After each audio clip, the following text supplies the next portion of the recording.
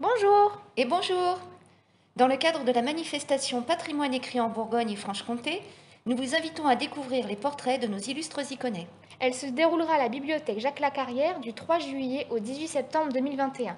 Bonne vidéo Jacques Amiot, prélat, donc qui est un haut dignitaire ecclésiastique dans l'Église catholique, est né d'une famille pauvre à Melun le 30 octobre 1513 et mort à Auxerre le 6 février 1593. Il a traduit de nombreux textes anciens et est considéré comme l'un des traducteurs les plus renommés de la Renaissance. À 19 ans, il est licencié en droit à Paris, puis devient docteur en droit civil à l'Université de Bourges, l'une des plus importantes d'Europe. Il y est nommé professeur de latin et de grec. Il traduit les Éthiopiques d'Héliodore, ce qui lui vaut d'être récompensé par François Ier. Il devient alors abbé de l'abbaye de Bélozane en Normandie. Après des voyages à Venise et au Vatican pour étudier les textes de Plutarque, il est émissaire du roi Henri II au Concile de Trente. Rentré en France, il prend la charge de précepteur des fils d'Henri II. Le premier, Charles IX, le nommera grand aumônier de France à son avènement en 1560. Le second, Henri III, le fera commandeur de l'ordre du Saint-Esprit.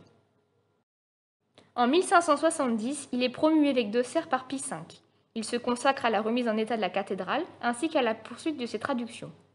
Il fonde un collège qui deviendra l'actuel lycée Jacques Amiot d'Auxerre.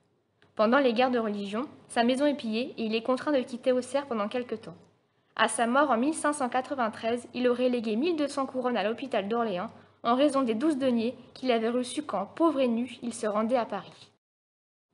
On lui doit la traduction de sept ouvrages de Diodore de Sicile, des amours pastorales de Daphnis et Chloé par Longus, et des œuvres morales de Plutarque. Sa traduction rigoureuse et idiomatique des vies des hommes illustres a été retraduite en anglais par Thomas North et a fourni à Shakespeare la matière à ses pièces romaines. Amiot s'intéresse surtout à Plutarque. L'intérêt de son travail réside aujourd'hui surtout dans son style. Son ouvrage eut un immense succès et exerça une grande influence sur plusieurs générations d'écrivains français. Nous vous retrouvons prochainement pour une nouvelle vidéo. À, bientôt